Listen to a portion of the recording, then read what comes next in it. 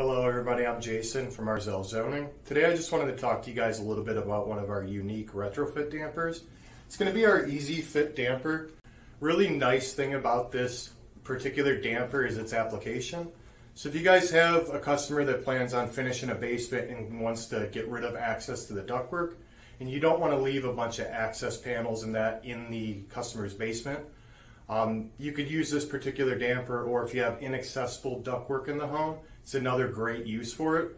The nice thing about this damper is you can literally fold the blade in half, and then it's got a pliable magnet that's going to hold it in place. So the whole thing folds up in a little two and a half inch package.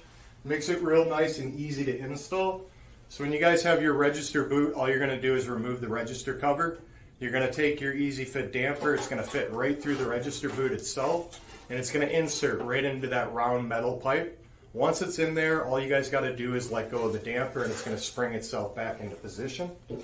And then the magnet itself is going to hold it in position, so you guys don't have to worry about it coming loose or anything like that. Um, so it's a real nice, real easy application, and it gives you access to that damper. So if there's ever a failure, you don't have to bust into the drywall. You don't have to worry about locating that damper. It's just real easy to access. Um, if you guys do have any questions on any of our products or need anything, don't hesitate to give us a call. Um, we're always here to help.